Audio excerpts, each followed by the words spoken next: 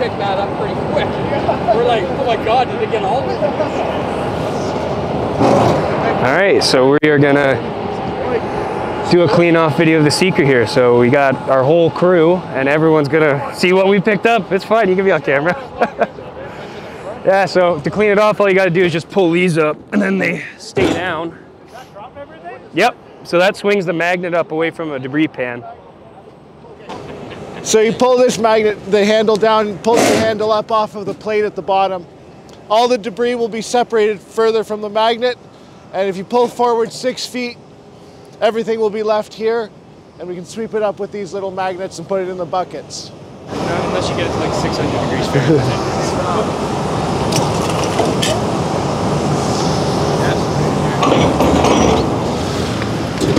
Now you can just pop the magnets back down. Oh, look at that. You got the lock and the key. Yeah, exactly. When they're testing things. There you go, guys. I guess that key doesn't work. Anyways, you got a bucket open. Yeah, that, that one might. So once you get this shit in here, you pick it all up, and then you come over to these buckets, and you can drop it off. Drop it off without touching anything. That way you don't have to touch it, because that shit's sharp. Well, this is the magnet, not Yep, that. yep, the magnet's in the aluminum tube here.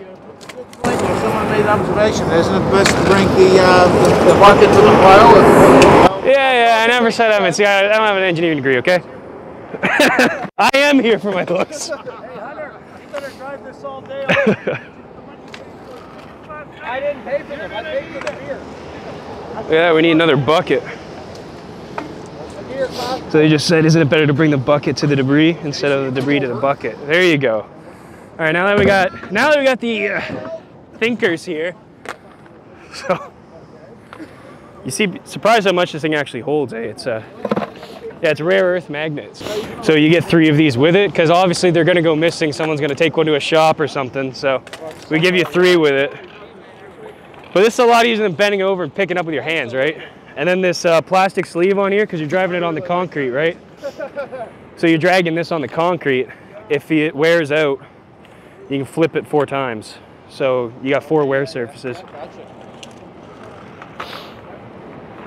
Yeah, I mean, then you also don't have to be able to see everything. So if like you're on gravel or something, it'll still pick it up and hold it.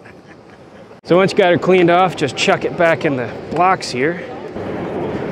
There you go. So once you wrestle those back on, throw the buckets back in, you're good.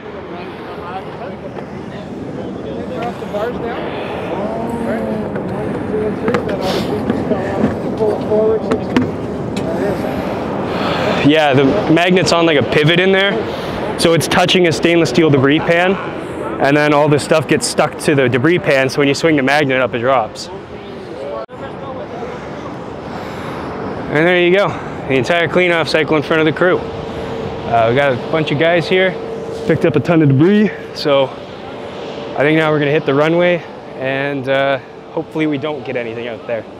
But we likely will. So we threw some stuff down to just test it uh, to see how much it would pick up. That was their whole box of like test media that they use, and it got it all in the first try because it's twice as strong as the Piranha. So we cleaned it all off, showed the guys how to use it, and now I think we're gonna hit the runway, and yeah, that'll be fun.